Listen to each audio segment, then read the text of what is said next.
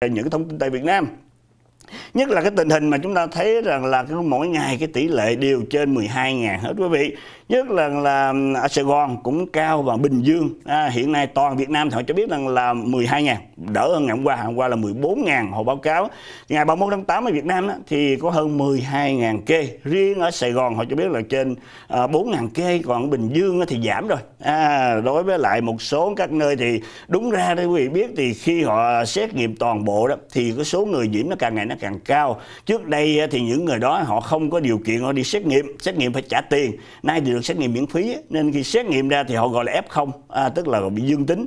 Sau đó họ cho ở nhà tại vì nó chưa có những cái triệu chứng gì hết. Khi trở nặng thì mới có những cái người nhân viên y tế tới nhà để giúp cho họ chuyển đến các bệnh viện trong thời điểm này thì tại Việt Nam như vị biết thì những nước họ viện trợ rất là nhiều. Nhất là Hoa Kỳ trong tuần trước khi bà Kamala Harris tới Việt Nam thì đã tặng cho một triệu liều thêm một triệu liều của vaccine của hãng Pfizer. Trước đó là 5 triệu liều rồi tức là Việt Nam đã nhận tại của Hoa Kỳ là 6 triệu. Nay thì Ấn Độ Ấn Độ đã giúp cho Việt Nam những cái ờ, máy ờ, tạo oxy cũng như là là những cái bình oxy nữa. À, hiện nay thì tại ờ, Ấn Độ đã gửi cho Việt Nam à, hiện nay Ấn Độ cái tỷ lệ người lây nhiễm bắt đầu nó giảm và đã được rất là nhiều những cái nước trước kia họ tặng bây giờ họ có dư họ gửi tặng cho Việt Nam. À, những cái à, loại để mà giúp cho những người trở nặng tại các bệnh viện đây là những cái máy để mà tạo oxy giúp cho họ trong phòng cấp cứu. Còn hình hình tình hình này thì chúng tôi cũng chia sẻ với vị là tại Bình Dương. Hiện nay Bình Dương thì không có đủ nguồn vaccine đó, thì họ mới phải nhận để chích cho những người dân tại Bình Dương là một triệu liều vaccine của Trung Quốc. Sinovac với vị của hãng Sinopharm. Một triệu liều. À, chúng ta thấy rằng là tại Sài Gòn họ nói rằng là đã có hơn 6 triệu liều rồi 6 triệu 100 ngàn liều. Thì chắc chắn rằng là của Hoa Kỳ thì quý vị biết thì chia ra cho toàn nước Việt Nam. Thì Sài Gòn chỉ có thể phân nửa còn 50% thì có khả năng là cũng của Trung Cộng à, nhưng mà người dân thì không có cái điều kiện để mà chọn lựa. Hiện nay Bình Dương cũng như vậy. Hiện nay Bình Dương là cái tỉnh à, sắp xỉ bằng với lại à, Sài Gòn.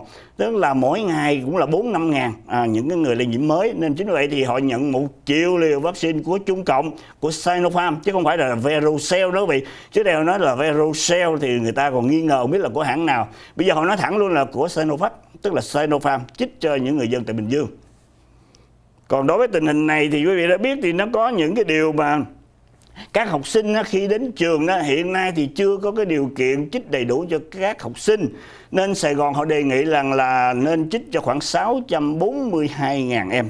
Hiện nay đang chuẩn bị nhập học à, chúng ta thấy là đầu tháng 9 này khoảng 5 hay 6 tháng 9 tại uh, Sài Gòn à, là mùa tụ trường của các em học sinh mà trước là các em học sinh từ 12 tuổi uh, lứa tuổi từ trung học trở lên. Thì hiện nay chưa có một vaccine nên Sài Gòn đang đề nghị thôi đề nghị à, Bộ Y tế Việt Nam cung cấp một số liều vaccine chích riêng cho các em học sinh. Chứ hiện nay nói là chích 6 triệu liều thì các em học sinh đa số thì chưa được chích còn có một ờ, em học sinh ở Đắk Lắk vì thấy là cũng tội nghiệp lắm. Tức là không biết là em đi ra ngoài lang thang như thế nào là lại bị uh, bắt giữ lại và em bắt thục dầu với tức là phạt em thì không có phạt tiền. Thay vì những người lớn á, thì trên 18 tuổi họ phạt từ 1 triệu tới 3 triệu. Nhưng mà em này thục dầu 50 cái. À, em là em uh, học sinh uh, lớp 8 lớp 9 cấp 2 đó mà ở Việt Nam. Thì em đi ra đường ở tại thành phố Ban Mê Thuột tỉnh Đắk Lắk. À, nên em bị thụt dầu. Ờ, đi ra ngoài trong cái thời điểm mà gọi là giãn cách xã hội, cách ly phong tỏa còn tình hình ở ờ, ngoài Hà Nội hiện nay thì Hà Nội cũng là đang bị phong tỏa luôn quý vị. Tức là họ cũng gọi là giãn cách xã hội. À, mà với tình hình này thì họ lo ngại sự bùng phát giống như Sài Gòn Bình Dương và các tỉnh phía Nam. Nên hiện nay họ mở những bệnh viện giả chiến. Đây là một cái bệnh viện giả chiến đang chuẩn bị đưa vô để mà tiếp nhận những cái người ờ, tại Hà Nội. Đây là tại Hà Nội quý vị. Những cái bệnh viện này thì hiện nay họ mới họ mới lắp ráp thôi. Trước đây thì họ không có nghĩ rằng là Hà Nội sẽ có nhiều người. Mà hiện nay thì mỗi ngày mỗi tăng mỗi ngày mỗi tăng. Những cái người lây nhiễm mới tại Hà Nội họ mới lắp ráp à, một trong những cái bệnh viện giả chiến mới nhất tại Hà Nội.